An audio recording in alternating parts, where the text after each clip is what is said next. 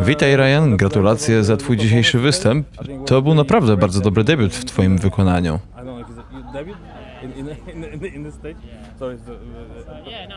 Dzięki, też jestem z niego bardzo zadowolony. 10 punktów w moim wykonaniu i to w wyższej lidze? Dokładnie, jechałeś tak jakbyś nie przechodził z niższej klasy rozgrywkowej.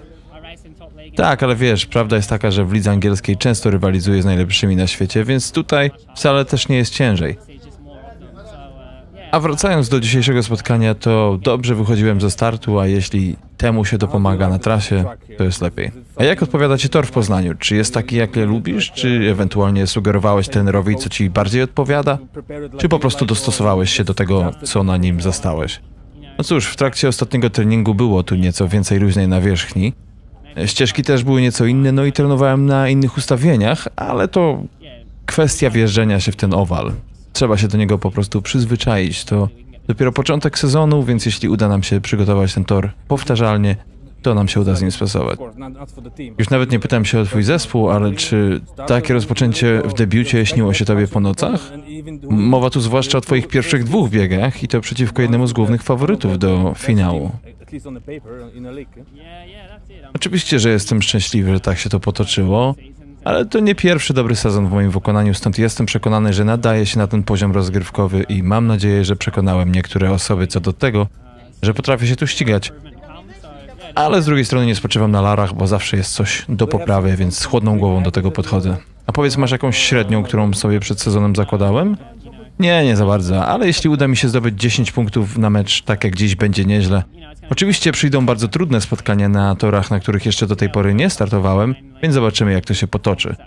Plan jest taki, by solidnie punktować w domu i zbierać doświadczenie na wyjazdach, co mam nadzieję da mi dobry wynik. W takim razie powiedz coś o zespole. Znasz się z niektórymi zawodnikami? Nie, nie, no chyba z nikim wcześniej nie startowałem, ale dzięki temu, że trochę tu wspólnie trenowaliśmy, zdążyłem się z nimi poznać. Jako drużyna stanowimy monolit, więc teraz pora, byśmy się wspięli o poziom wyżej.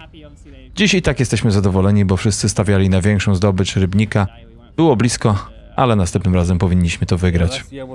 Dokładnie, rok temu to była naprawdę spora batalia. Do biegów nominowanych Poznań przegrywał sześcioma punktami, ale w nominowanych poszły dwie podwójne wygrane, co sprawiło, że to była jedna z najlepszych pogoni w zeszłym roku w lidze. Dziś to się nie stało, ale byliście blisko. Czego Twoim zdaniem Wam najbardziej zabrakło? Szczerze to nie mam pojęcia. Grzesiek Walasek na przykład kompletnie dzisiaj nie odpalił. No fakt, to nie był jego dzień. Ogólnie Rybnik to mocna drużyna. Kluczowymi okazały się ich starty, zwłaszcza w ostatnim biegu, w którym zewnętrzna już nie pracowała. Cóż, walczyliśmy, nie udało się, ale ta porażka może nam tylko pomóc. A jak powiedz, dogadujesz się z Adamem Skórnickim? A dobrze, znamy się jeszcze z Rawicza, gdzie Adam zaliczył epizod, więc nasza znajomość ma się dobrze. Adam wnosi sporo śmiechu do niej, przez co lubię dla niego jeździć. Super. Gratulacje raz jeszcze za dziś i powodzenia w kolejnych meczach.